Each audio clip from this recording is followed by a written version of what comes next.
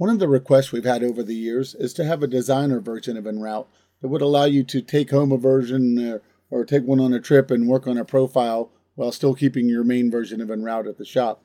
So we've developed EnRoute Pro Designer for EnRoute 5, and basically this is a complete version of EnRoute Pro that will do everything but output CNC files. So you have all the same relief creation tools, slicing abilities, tool pathing, and simulation. You just have to go to the main version to create the output. Now, here's a quick review of uh, something, a little 3D project. And uh, here I have a piece of 2D clip art.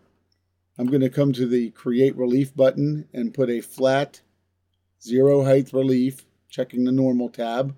And I have a resolution of 100 here. And I'll hit apply. If you don't have normal check, this might be grayed out sometimes. Now I can see I have a, uh, a flat no thickness relief here.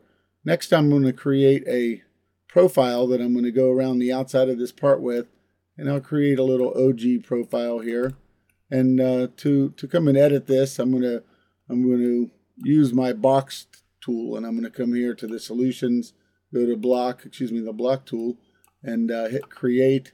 And that will create a little block around my my object here my profile. Now I'm going to go to the point edit mode and I'm going to soften this this uh, ogee curve here a, a, little bit and I want to make it so I, I, think it'll look nice and smooth at the top and give myself a, a nice outer edge as well. Well, once I have my ogee profile the way I'd like it, I can zoom out here and get rid of that little block. Now I'll come here and go to the center line chamfer and it tells me select the chamfering contour which is right here. I'm going to add this onto my current relief and I'm going to uh, I'll maybe make this 0.7. That looks good. And I'll hit my green check mark. Now, if I did a good job on my profile, I should get a nice looking surface that creates a smooth top, and it does. And uh, see, that's a nice little design there. So now let's do the tool pathing for this. And I'll, uh, I'll adjust this so I can see all four views here. And I'm going to use my alignment tool here to align that relief to the bottom of the plate.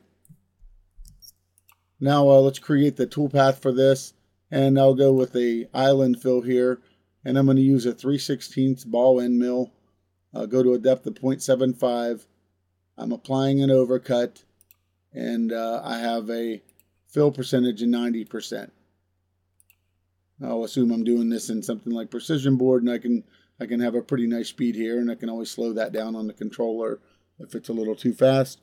And we'll hit OK and we're going to create the toolpath for this for the uh, actual creation of the surface. I don't have a rough pass here, just a normal toolpath.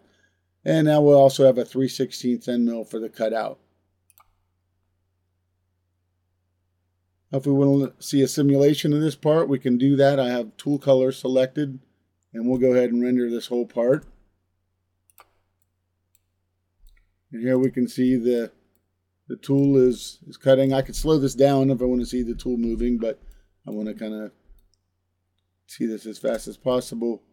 And so there I can see the, uh, the surface has been created.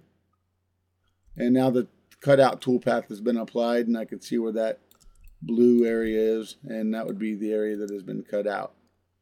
So, uh, so you can do all of the things you need to be able to do with this version, this designer version. And now when I wanted to output this, I would just save this as an EnRoute file, and then uh, I would be able to open it on another version of EnRoute and create the CNC file.